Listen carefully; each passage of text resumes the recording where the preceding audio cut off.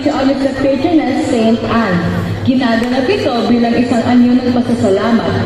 Ang pagdiriwang ay isang taon ng kaganapan na natugat sa mga paniniwalang relihiyoso at gawa-gawa na bumubuo sa lahi na dating tinatawag na tagadiin.